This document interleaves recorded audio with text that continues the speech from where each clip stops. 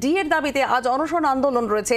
প্রতীকী অনশনে তেত্রিশটি সংগঠনের যৌথ মঞ্চ নদিন ধরে অবস্থান বিক্ষোভে সরকারি কর্মীরা দাবি পূরণ না হলে আরও বড় আন্দোলনের ডাক। অয়ন ঘোষাল প্রতিনিধি আমাদের সঙ্গে রয়েছেন। অয়ন, নদিন ধরে অবস্থান বিক্ষোভে সরকারি কর্মীরা তাদের যদি দাবি পূরণ না হয়, তারা তাদের আন্দোলন কীভাবে এগিয়ে নিয়ে যাবেন? তাদের কি স্ট্র্যাটেজি হতে চলেছে? কি বলছেন তারা এই মুহূর্তে?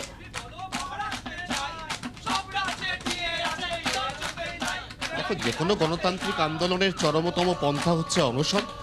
নদিনের ধর্ণা অবস্থানের পর এই শহীদ মিনারে আজকে বেলা একটা থেকে আগামীকাল বেলা একটা পর্যন্ত চব্বিশ ঘণ্টার প্রতীকী অনশনের মাধ্যমে প্রথম নিজেদের আন্দোলনকে তীব্রতর করছেন এই তেত্রিশটি যে সংগঠন রয়েছে, অর্থাৎ সংগ্রামী যৌথ মঞ্চ, সেই যৌথ মঞ্চ নেতৃত্ব।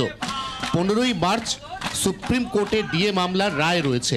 অতএব সেই রায়ের আগেই যাতে রাজ্য সরকার এই সমস্ত বকেয়া ডিএ ক্লিয়ার করে দেয়, তার জন্য আন্দোলনের চাপ ক্রমশ বাড়ানো হচ্ছে। এই মুহূর্তে শহীদ মিনারের পাদদেশে যারা রাজ্য সরকারের বিরুদ্ধে নিজেরাই ঝাপান, গান বেঁধে গান করছেন, তারা প্রত্যেকেই রাজ্য সরকারের অবিচ্ছেদ্য অঙ্গ। তারা প্রত্যেকে রাজ্য সরকারের কর্মী। বিভিন্ন গুরুত্বপূর্ণ দপ্তর, এই দপ্তরের দায়িত্ব বা দপ্তরের একটা বড় অংশের ওনার্স তাদের হাতে রয়েছে। তারা এইভাবে অফিস ছেড়ে আজ নদিন হলো শহীদ মিনার প্রাঙ্গণে বসে। এইভাবেই অবস্থান ধর্ণা চালিয়ে যাচ্ছেন। তারা বলছেন যে ভিন রাজ্য, অর্থাৎ একাধিক প্রতিবেশী রাজ্য সহ উত্তর এবং উত্তর পূর্বাঞ্চলের একাধিক রাজ্য যেখানে ইতিমধ্যেই সমস্ত ডিএ ক্লিয়ার হয়ে গেছে।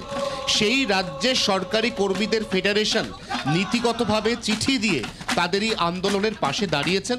এই মুহূর্তে যে ছবি আমরা দেখতে পাচ্ছি, আবারও বলছি, এই ছবি কিছুটা বেনজির, কারণ রাজ্য সরকারের বিরুদ্ধে আন্দোলনে লিপ্ত রাজ্য সরকারি কর্মীদেরই একটা বড় অংশ।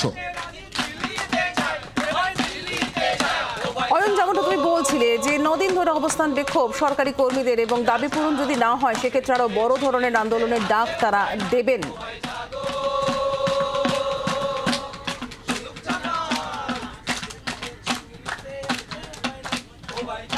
অবশ্যই কথা বলার চেষ্টা করব।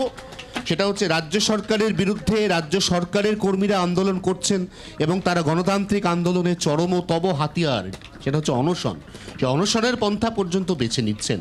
কি এমন অসুবিধা রয়েছে বলে মনে হয়? যেহেতু আপনারা নিজেরা সবাই রাজ্য সরকারি কর্মী, কি এমন অসুবিধা রয়েছে? কোষাগারে এমন কোন টান রয়েছে? যাতে কোনোভাবেই আপনাদের বকেয়া ডিএটা মেটানো যাচ্ছে না। কি মনে হয়? সমস্যাটা হচ্ছে আমাদের খুব খারাপ লাগছে। আমরা রাজ্য সরকারি কর্মচারী, আমাদের স্কুলে থাকার কথা, নিজ- নিজের নিজের ভবনে থাকার কথা।